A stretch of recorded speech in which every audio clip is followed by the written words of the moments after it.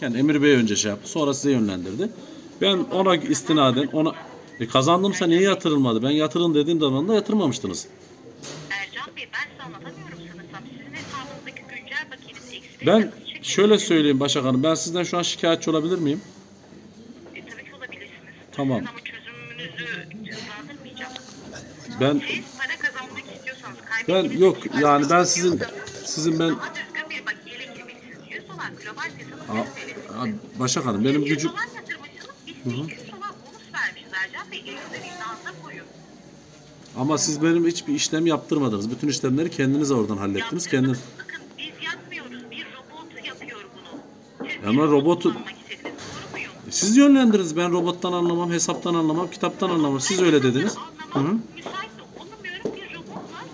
Hı hı. yapmak istediğinizi siz kendiniz söylediniz bana. Ya siz yönlendirmelerinizle ben onu söyledim. Sizin yönlendirmeleriniz sonucu. 100 dolar yatırdınız, 100 dolar bizden Evet. Ben 100 bonus falan da istemedim. O bo- bonus da istemedim. Onları siz kendiniz yatırdınız. Ben öyle bir bonus istiyorum falan demedim.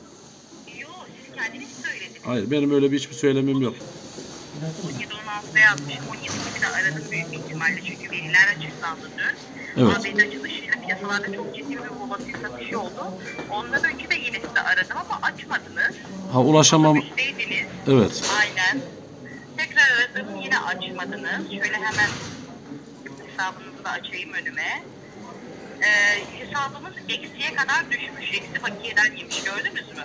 Bilmiyorum ben anlamadığım için hani size dedim ben anlamam. Bundan siz hesabın şifreleri siz de siz girip çıkıyor. Benim hesabım bir, bir müdahalem de yok. Siz alıyorsunuz siz satıyordunuz orada. Hani ben bilmediğim için. Parayı nasıl Bana- verdiniz? Bana hesap attılar. Ben hesaplarına 100 dolar karşılığı 1860 lira para yatırdım. 1860 60 lira hesaplarına gönderdim. Evet. Ona göre onlar bana bir hesap açtılar.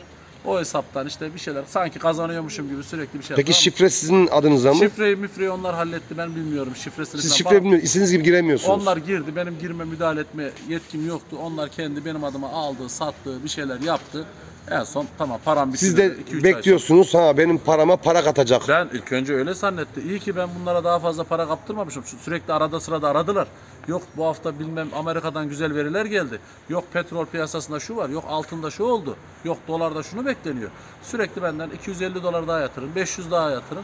Sürekli bir para yatırmamı istediler sisteme. Çünkü bu paraların üzerine konulacaklarından bir tane bir para vermeyeceklerinden dolayı kandırmak için ellerinden geleni yaptılar. Ama benim kandırılmamdaki en büyük şey böyle bir gayet samimi abicim ablacım gibi konuşmalar oldu işte şey yaparken çok e, samimi geldi konuşmaları. Vatandaşlarımıza sesleniyorum bu tür şeylere kesinlikle aldırış etmesinler, inanmasınlar. Bunların hepsi dolandırıcı.